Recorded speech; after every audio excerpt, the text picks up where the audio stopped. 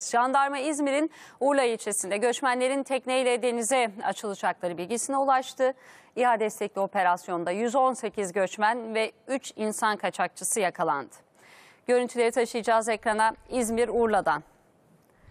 Jandarma göçmen kaçakçılığı ihbarı üzerine bir çalışma başlattı. İnsansız hava aracıyla yerleri tespit edilen göçmenler ve 3 insan kaçakçısı yakalandı.